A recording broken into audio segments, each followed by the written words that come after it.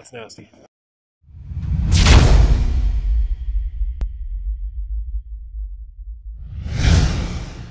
Here we have the 308 sniper round. You'll see that all the energy gets transferred in the first bit of the roast here. We should not see a lot of things exiting out the back.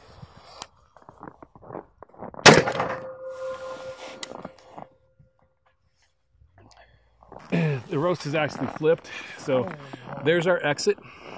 Now you can see um, just a tremendous amount of, uh, of tissue damage. Um, the board was not struck by the bullet. It was actually uh, just struck by the roast here. We do have this right here is a penetration that went through. Now that's that steel core tip uh, came out the top and has made it through the um, through the board. Everything else, all the breakage down here and everything was just from the roast being shoved backwards. But again, very impressive um, exit there. Shuts it down extremely fast. That's a tremendous amount of energy in it.